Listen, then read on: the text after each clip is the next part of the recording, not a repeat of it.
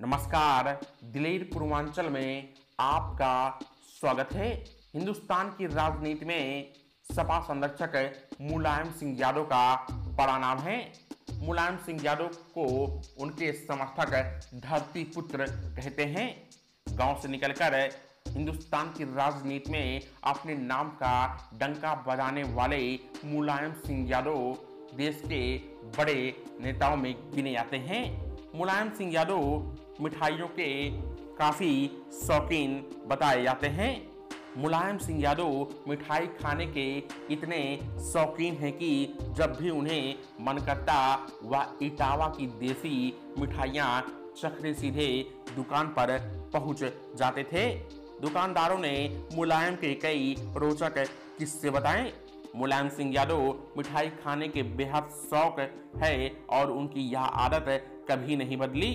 मुलायम सिंह यादव जब भी इटावा शहर आते हैं तो वह शहर के बलदेव चौराहे पर पहुंचकर बलदेव मिष्ठान भंडार ज़रूर जाते हैं।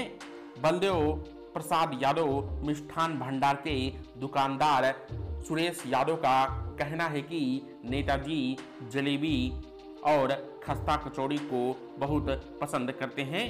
उनका कहना है कि नेताजी इटावा आते हैं तो कोठी पर हमारे यहाँ की मिठाइयाँ और नाश्ता का स्वाद ज़रूर लेते हैं।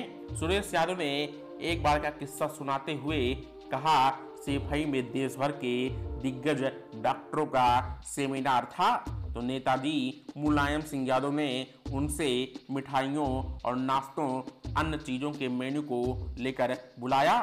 सुरेश ने शहर में मिलने वाली तमाम मिठाइयों और स्नैक्स के बारे में बताया।